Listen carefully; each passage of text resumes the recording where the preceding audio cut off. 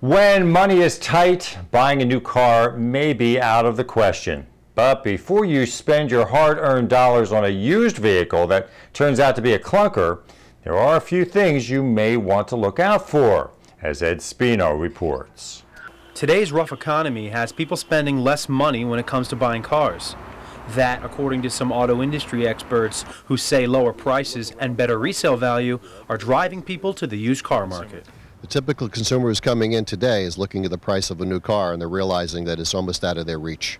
So they're turning to the pre-owned center where they may find the same car a year or two older, but almost half the cost. You consider that a new car is going to lose about 45% of its value in the first three years. That's probably the main reason. Uh, the old uh, adage about a car losing value as soon as you drive it off the lot, a new car losing value as soon as you drive it off the lot is appropriate. That does happen.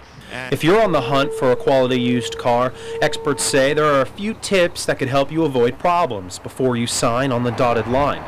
When you take your test drive, drive the vehicle in a situation where it will be used. Uh, and if you live in a place that has very bad roads, take the vehicle on some very bad roads. Turn off the audio system. And be sure to get a vehicle history report like Carfax. Carfax is a, is a, a company that pulls documentation from insurance companies, from banks, from salvage yards, from anywhere that they're tied into as to the VIN number on that vehicle and anything that's been reported against it. The final thing to do is consult a mechanic, or as they're known these days, a technician.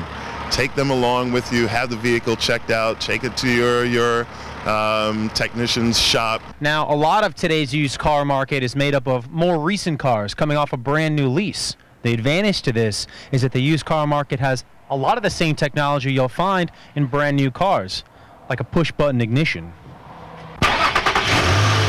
In Glen Cove, Ed Speno, LI News Tonight.